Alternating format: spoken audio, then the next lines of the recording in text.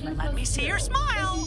This morning, oh, a looming showdown beautiful over smile. disgraced former football star O.J. Simpson's oh, estate. My tummy is rumbling. You know, I'm having so much fun with you, I almost forgot I was hungry.